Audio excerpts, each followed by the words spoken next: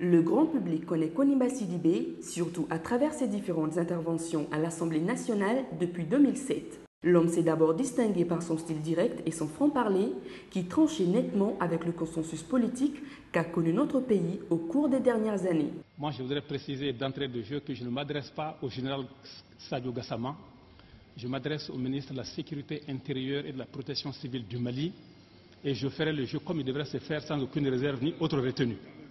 Je voudrais commencer par remercier le ministre pour la précision de ses réponses. Parce que nous avons entendu beaucoup de réponses aux questions posées aujourd'hui qui vont plus dans la généralité que attaquer les vraies questions posées.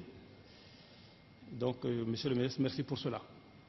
Vous pensez franchement que je perdrais mon temps, que des éleveurs perdraient leur temps pour venir vous voir parce qu'il y a eu un, un, âne volé à Fana ou à Maracongo, un mouton Non, Monsieur le ministre, franchement.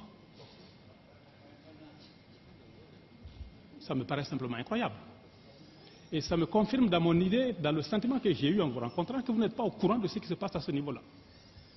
Or, la matière première de la prise de décision, c'est l'information, la bonne information.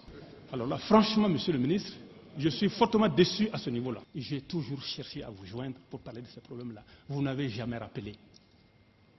Vous n'avez jamais rappelé. Donc je prends bonne note de votre disposition désormais à collaborer sur ces questions-là et je vous assure que interpeller un ministre n'est pas un plaisir pour nous. C'est quand on n'arrive pas à régler le problème à un autre niveau.